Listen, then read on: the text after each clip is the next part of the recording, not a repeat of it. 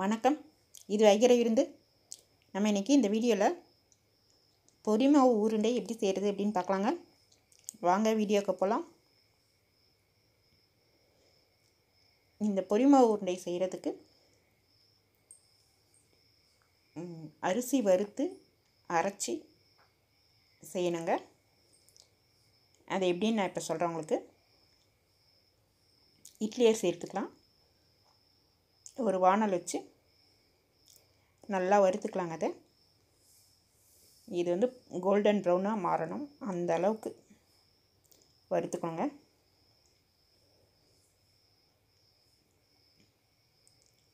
High ஃப்ளேமில் வச்சு வறுக்கக்கூடாது. Medium ஃப்ளேமில் வச்சுக்கோங்க.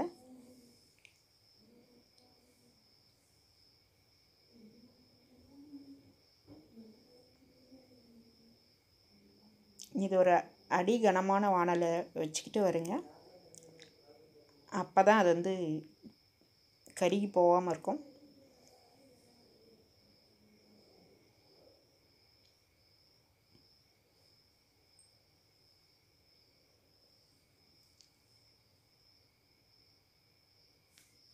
இதை வந்து எங்கள் எங்கள் ஊரில் வந்து இந்த கார்த்திகை தீபம் வரும்போது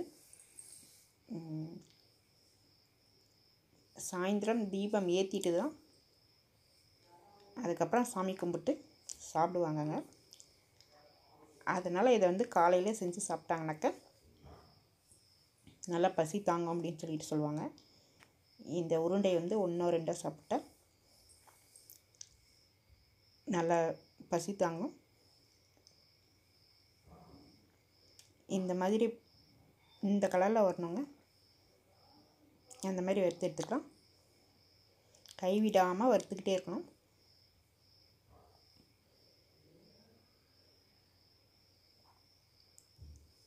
இந்த அரிசி கூட கொஞ்சமாக உப்பு.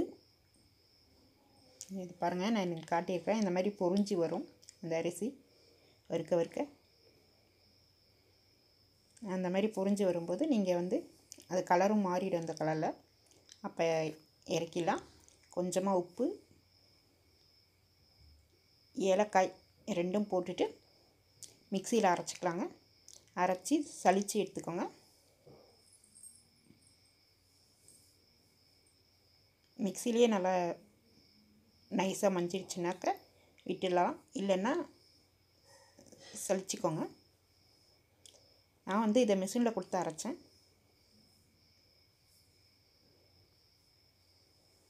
அதிகமாக செஞ்சாக்க நீங்கள் வந்து மிஷினில் கொடுத்து அரைச்சிக்கலாம்.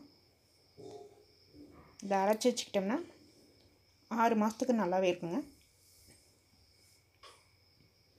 அரைச்சி நல்லா சூடு போக ஆற வச்சு எடுத்து ஸ்டோர் பண்ணி வச்சுக்கிட்டோம்னா நல்லாயிருக்குங்க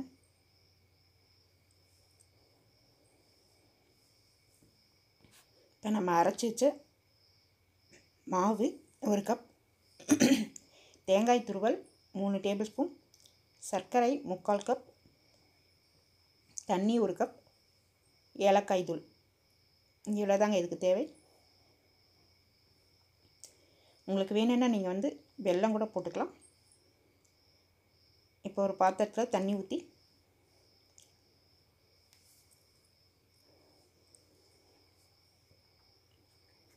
சர்க்கரையை போட்டுக்கலாங்க. சர்க்கரை நல்லா கரையிட்டுங்க. நீங்கள் வெல்லம் போட்டுக்கிட்டிங்கனாக்க வேர்க்கடலையை வந்து நல்லா வறுத்துட்டு தோல் நீக்கிட்டு ஒன்றும் பாதியமாக மிக்சியில் போட்டு அரைச்சி எடுத்து போட்டுக்கலாங்க. அது ரொம்ப டேஸ்ட்டாக இருக்கும். நான் வந்து இன்றைக்கி சக்கரை போட்டு தான் செஞ்சுருக்கிறேன். இந்த சக்கரை நல்லா கரைஞ்சி கரைஞ்சி நல்லா கொதி கொதிக்க ஆரம்பிக்கிறாங்க. இதுக்கு பாகு பதம் எதுவும் தேவையில்லை.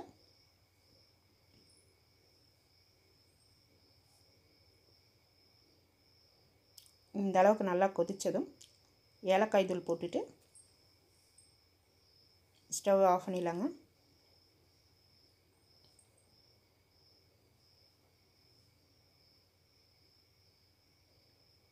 இது வந்து குழந்தைகளுக்கு ஒரு நல்ல ஈவினிங் ஸ்நாக்ஸாகவும் இருக்குங்க.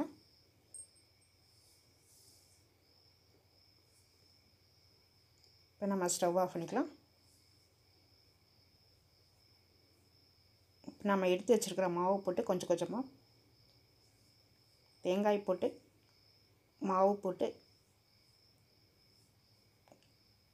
கலந்துட்டுக்கலாங்க.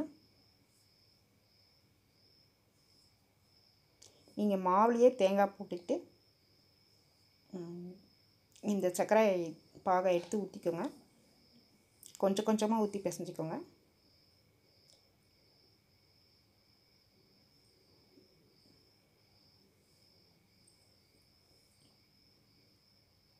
இப்போ இதை பிசைஞ்சிட்டு ஊட்டி வச்சுக்கலாங்க. அதுதாங்க சூப்பராக பொரிமா உருண்டை ரெடி ஆயிடுச்சுங்க.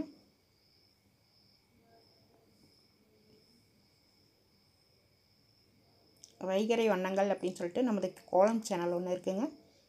அதில் போய் கோலங்கள்லாம் பாருங்கள் உங்களுக்கு பிடிச்சிருந்தா அந்த சேனலையும் சப்போர்ட் பண்ணுங்கள் இந்த அளவுக்கு இந்த மாவை பிசைஞ்சுக்கணுங்க. பிசைஞ்சிக்கிட்டு ஊற்றி எடுத்து வச்சுக்கிட்டு சாப்பிட்டுக்கலாங்க சூப்பராக இருக்கும். நீங்களும் செஞ்சு பாருங்கள் இந்த வீடியோ உங்களுக்கு பிடிச்சிருந்தா